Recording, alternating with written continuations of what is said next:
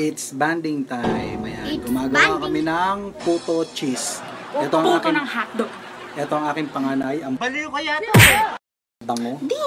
Mm. At happy Ito birthday naman nga po pala sa amin. Ito naman ang Galing ha. aking top-top, ang aking bunso. At ito naman si Kuya. Bola lang yan. Kuya KL. Ayan. Tapos, O, naman. ayan yung ginagawa namin, puto. Ayan. Puto ni ate. Si ate. Ah, nagwa... Diba? Ako, gagawin dapat ako na po finger pa. So, tingnan nyo na lang mamaya kung anong kalalabasan, okay? Hui Huo Dian Shi!